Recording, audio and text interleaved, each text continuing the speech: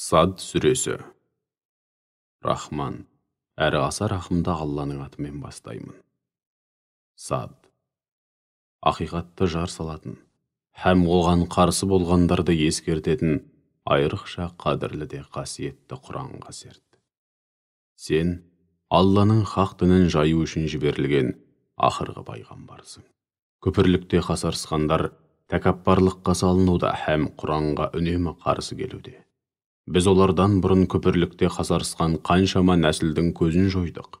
Олар қаһарымызға ұшырағанда құлындағы дауыстары құраққа шығып медет тілеген еді.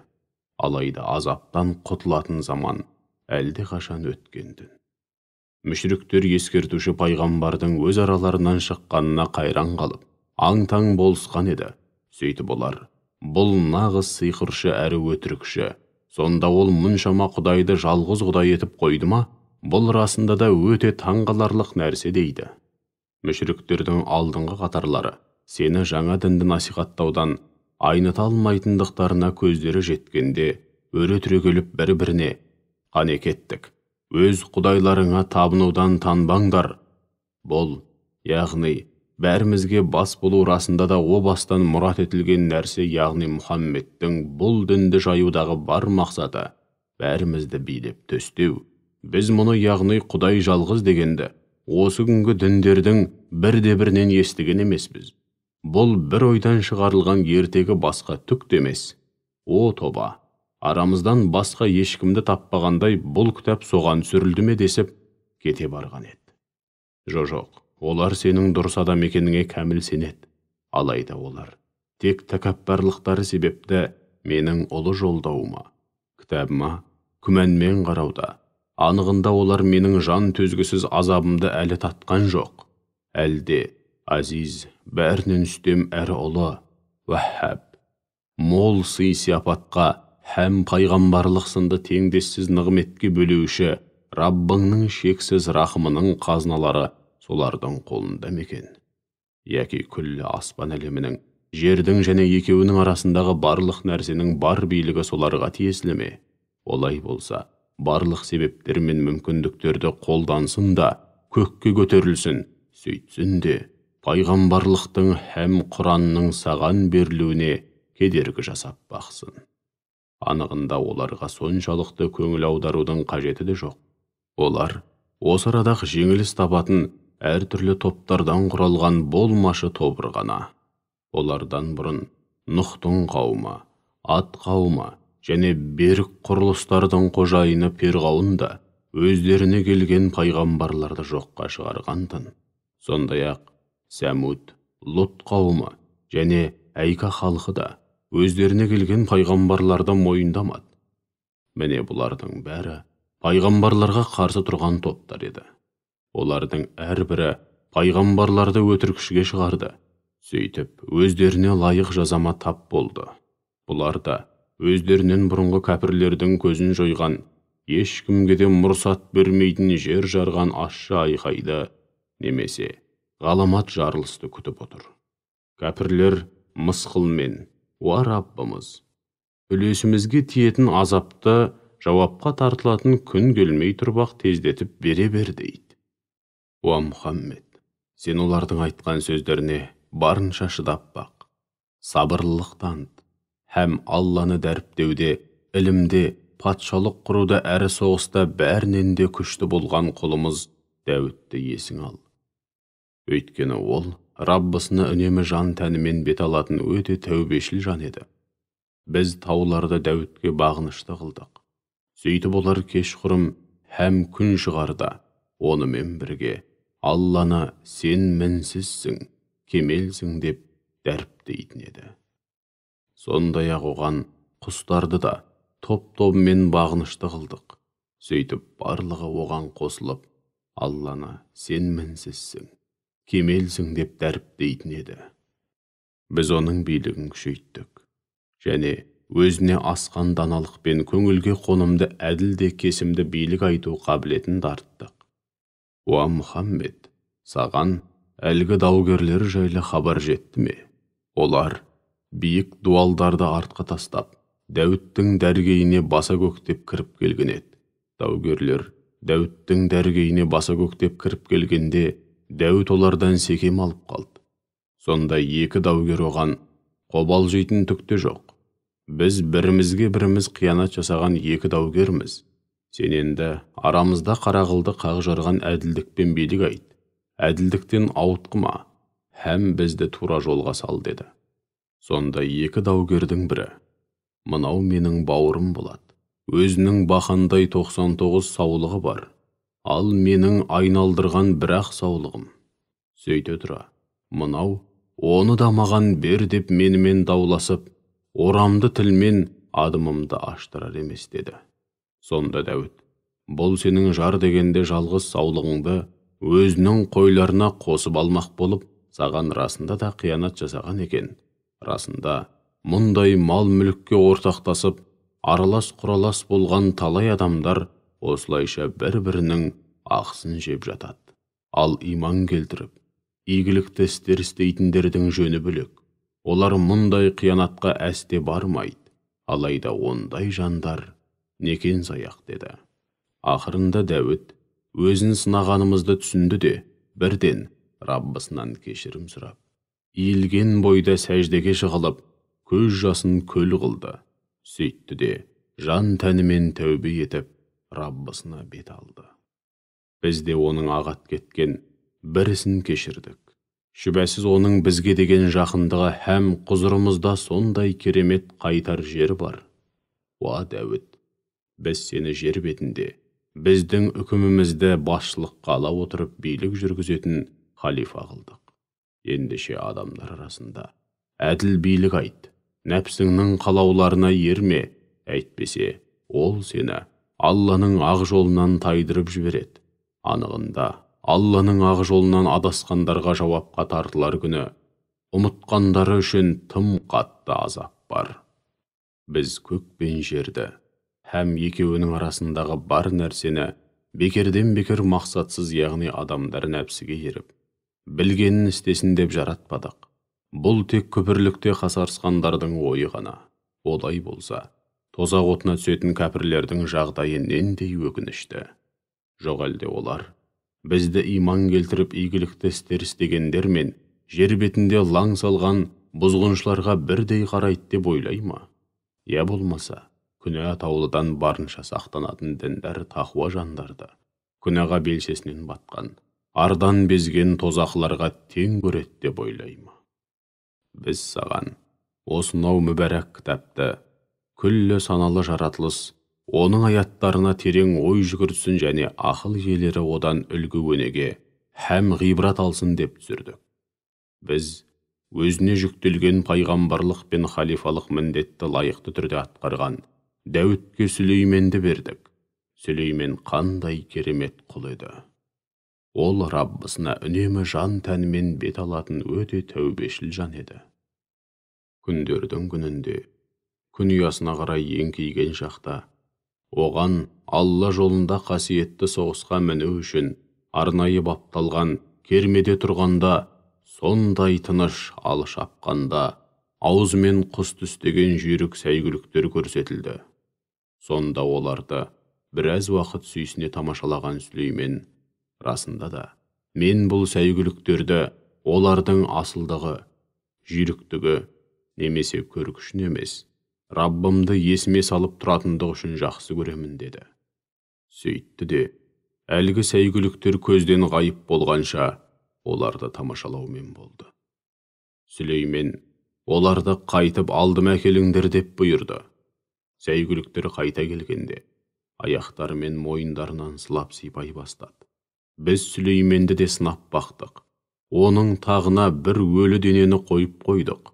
Содан кейін ол мұның мәнісін түсінді де бірден аллаға бет алды. Содан ол уа раббым мені кешіре көр. Һәм маған хақ дініңді жер бетінде үстем ету үшін менен кейін бірде бір жанға лайық болмайтын жан баласының қолы жетпейтін шексіз билік нәсіп еткейсің. Шүбәсіз сен уәһәбсің бергенде бір жолата үйіп төгіп беретін асқан жомартсың деп жалбарынды. Біз оның дұғасын қабыл алып оған майда желді бағынышты қылдық. Жел оның бұйрығымен бағыттаған жеріне қарай баяу есетін еді. Оған жын шайтандардан он саусағынан өнер тамған шебер сәулетшілер мен теңіз түбінде жатқан асыл тастарды алып шығатын сүңгуір шайтандарды да бағынышты қылдық. Сондай ақ оған аяқ қолдары кісенделіп бір біріне байланған яғни бүлік шығарып бұзақылық жасамасын деп қатаң бақылауға алынған басқа да адамдар мен жын шайтандарды да бағынышты қылдық. Сөйтіп оған міне мұның бәрі өзіңе берген қисапсыз сыйымыз қаласаң одан өзгелерге де бөліп бер. Қаласаң ешкімге берме.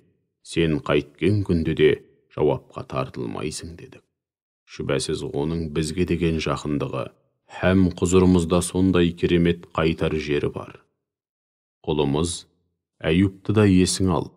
Есіңде болса ол раббысына расында мен мына шайтанның кесірінен бір түрлі дымым құрып зор қасіретке душар болдым деп үн қатып мұңын шаққан еді. Сонда оған аяғыңмен жерді теп дедік. Һәм міне мынау саған жуынатын һәм ішетін сап салқын қайнар су дедік. Өзіміздің шексіз рахымымыз ретінде әрі ақыл иелер үшін ғибрат болсын деп оған отбасын түгелдей қайтарып бердік һәм оларға қоса тағы да соншама бала шаға нәсіп етіп басына бас қостық. Содан оған қолыңа бір буда сабақ ал да сонымен әйеліңді ұр сөйтіп антыңды бұзба дедік. Біз оның шынымен де өте сабырлы екенін анық көрдік. Ол қандай керемет құл еді. Ол раббысына үнемі жан тәнімен бет алатын өте тәубешіл жан еді.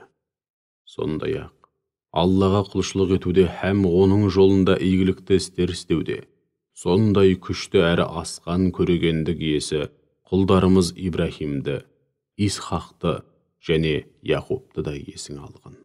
Біз оларды қай жағынан алып қарасаң да өте ықыласты қылдық. Сол себепті олар ойлары сөздері һәм іс әрекеттерінде үнемі ақирет мекенін бағатын көздейтін еді. Өйткені олар құзырымыздағы ең таңдаулы да қайырлы жандардың қатарында еді. Сондай ақ исмайылды әлиясақты және зүлкифілді де есің алғын олардың әрқайсысы ең қайырлы жандардың қатарында еді. Міне бұл яғни пайғамбарларды осылай жақсылықпен еске алу адамдар үшін тұнып тұрған насихат һәм керемет үлгі өнеге аллаға қарсы келуден һәм азабынан сақтанатын тақуа жандарды расында да зор болашақ һәм сондай керемет қайтар жер күтуде. Ол жер тақуа жандар үшін қақпалары айқара ашылған қисапсыз нығметке толы мәңгілік бақыт мекені адын жұмақ бақшалары. Олар онда жайлы орынтақтарға шалқая түсіп жайғасып отырады һәм жемістер мен сусындардың түр түрін алдырады. Сөйтіп емін еркін ішіп жеп рахатқа батады. Қастарында жас жағынан біріне бірі құрбы құрдас өз жұбайларынан басқаға көз тікпейтін пәк жарлары болады. Сендерге жауапқа тартылатын күн үшін уәде етілгендер міне осылар. Расында сендер үшін әзірлеген әсте түгесілмейтін қисапсыз ризығымыз міне осылар. Міне бұл тақуалар үшін. Ал шектен шыққан азғындардың ақыры һәм барар жер арасында да өте жаман. Олар жаһаннамның жалындаған отына қақталады. Ол қандай жаман жатақ десеңші. Олардың сыбағасы міне осы. Ендеше ондағы қайнақ су мен қою іріңді әбден татсын мұнымен де бітпейді. Олар үшін соған ұқсас басқа да сан алуан азап түрлері дайын тұрады. Уа күпірлік пен бүліншіліктің көсемдері. Міне мыналар дүниеде өздеріңе көзсіз еріп күнәға батқан ал бүгін өздеріңмен бірге түпсіз тозақ отына бойлайтын тобыр. Бұлар бұдан бұлай кеңшілік көрмесін. Өйткені олар жаһаннамға кіріп жалындаған отқа әбден қақтылады. Сол кезде әлгі тобыр өздерін адастырған көсемдерін сендер де кеңшілік көрмеңдер. Әсілі бұл азапты біздің басымызға мына сендер келтірдіңдер деп жазғырады. Бұлар неткен жаман мәңгілік тұрақ еді. Сөйтіп олар уа раббымыз бұл азапты біздің басымызға кім келтірсе оның тозақ отындағы азабын екі есеге арттырғайсың деп көсемдеріне қарғыс жаудырады.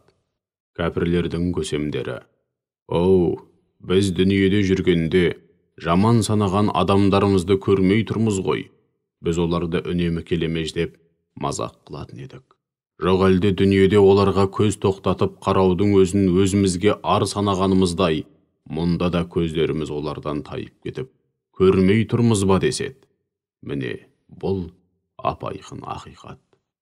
Тозақлардың осылайша бір бірімен керіске түсетіні хақ.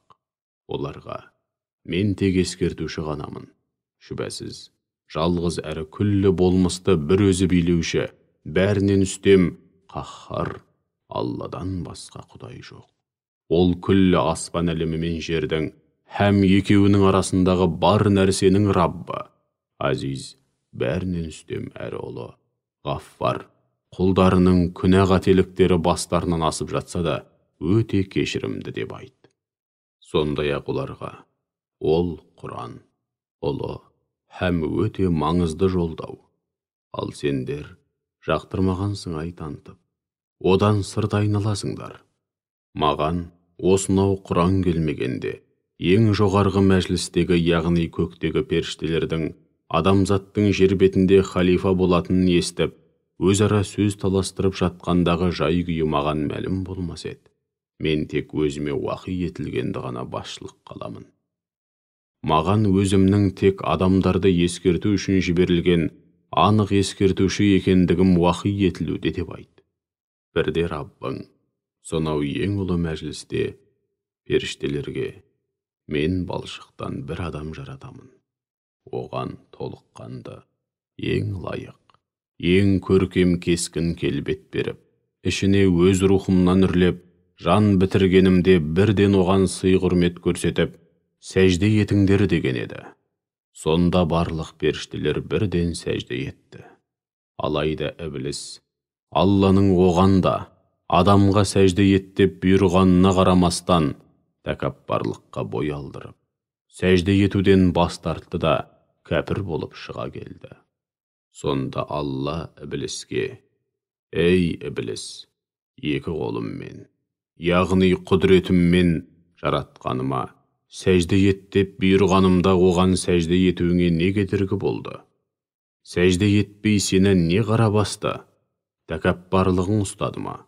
Жоқ әлде ешкімнің алдында бас имейтін өздерін бәрінен жоғары һәм асыл санайтындардың бірімісің деді.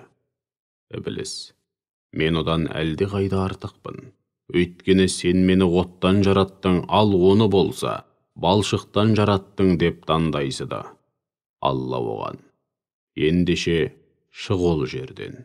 Сен бұдан былай құзырымнан һәм рахмымнан қуылған малғұнсың. Енді дін яғни ұлы сот күніне дейін саған менің лағнетім жауат деп рахмынан бір жолата аластады. Ібіліс уа раббым ендеше адамдар өліп қайта тірілетін күнге дейін маған мұрсат бер деді. Алла оған ал саған мұрсат берілді. Алайда маған ғана мәлім болған күнге яғни қиямет күніне дейін деп айтты. Сонда ібіліс ендеше сенің ұлылығыңмен ант етейін олардың барлығын азғырып тура жолдан тайдырамын. Алайда ықыласты етілген құлдарыңның жөні бөлек. Өйткені оларды қанша жерден азғырсам да тура жолдан тайдыра алмаймын деді. Алла оған менің әр пәрменім мен әр ісім ақиқаттың нақ өзі. Дәл қазірде ақиқатты ғана айтудамын. Шүбәсіз жаһаннамды сенімен һәм олардың арасынан саған ергендердің барлығымен лықа толтырамын деп кесіп айтты уа мұхаммед оларға мен осынау құранды жеткізгенім үшін сендерден ешқандай да ақы сұрамаймын сондай ақ мен мұндайды өз ойынан шығаратын жалған пайғамбар демеспін ол құран күллі саналы жаратылыс үшін теңдессіз насихат. Ескерту. Һәм жолбасшы шүбәсіз күндердің күнінде оның өзінің һәм берген ақпарларының мәнісін әлі ақ білетін боласыңдар.